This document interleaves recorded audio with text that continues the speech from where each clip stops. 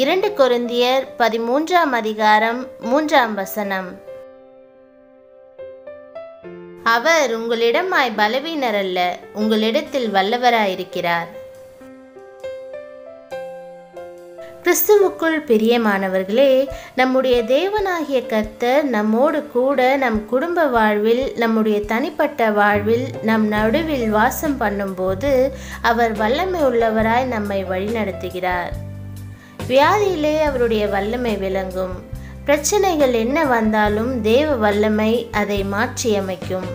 மாத்தாளுடைய சகோதரனாகிய லாசரு மறித்த பொழுது இயேசு அவனை எங்கே வைத்தீர்கள்? என்று கேட்டபொழுது மார்த்தால் நான்கு நாட்கள் ஆயிற்றே இப்பொழுது திறந்தால் நாருமே என்று அவ்விசுவாசத்தோடு கூறினாள்.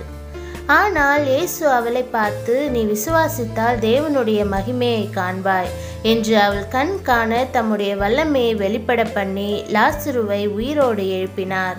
உங்கள் குடும்பத்திலே தனிப்பட்ட வாழ்க்கையிலே அவர் பிரசன்னமாயிருந்து இதே வல்லமையை வெளிப்படுத்த போதுமானவராக இருக்கிறார். அவரால் ஆகாதது என்ன இருக்கிறது? ஒரு தாய் ஒரு ஆண் மகனை பெற்றெடுத்தாள்.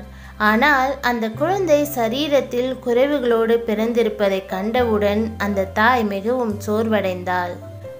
ஏனெனில் குழந்தையின் இரண்டு கால்களும் வளைந்து உருமாறிய நிலையில் இருந்தது. என் பிள்ளைக்கு மற்ற பிள்ளைகளைப் போல நடக்க முடியாமலேயே போய்விடுமோ என்ற கவலை ஒருபுறம் இருந்தாலும் மறுபுறம் தான் நம்பியிருக்கும் தன் ஆண்டவர் வல்லமுள்ளவராய் இருக்கிறபடியால் தன் குழந்தையின் காலை தொட்டு குணமாக்குவார் என்ற விசுவாசம் உள்ளத்தை நிறைத்தது.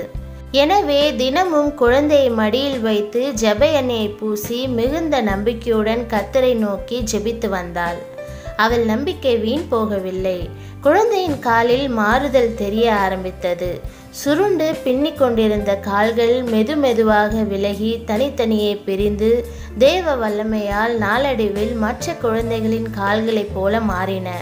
அது மட்டுமின்றி வளர்ந்து வாலிபனான அந்த குழந்தையை தேவனுடைய சேவையை செய்கிற தெய்வீகம் நிறைந்த வாலிபனாகவும் எழும்பி பிரகாசிக்க கிறிஸ்து அவனிடத்தில் வல்லவராயிருந்தார். இன்று நீங்களும் கூட இதே வண்ணமாக கர்த்தருடைய வல்லமை விளங்கினாலொழிய என் வாழ்வில் மறுமலர்ச்சியை நான் காணவே முடியாது. ஆண்டவரே எனக்கும் இறங்கும் என்று அந்த தாயைப் போல ஆண்டவரை பற்றிக்கொள்வீர்களானால் உங்கள் வாழ்வும் கர்த்தருடைய வல்லமையால் செழிக்கும். சமாதானம் பெருகும். ஜெபம். அன்பின் நேச தகப்பனே தீராத எந்த பிரச்சனையையும் உம்முடைய வல்லமையால் தீர்க்க முடியும் என்று நான் விசுவாசிக்கிறேன். என்னுடைய தீர்க்க முடியாத பிரச்சனைகள் ஒவ்வொன்றையும் கூட இன்று உம்முடைய வல்லமையுள்ள கரத்தினால் முற்றிலுமாக மாற்றி போடும்.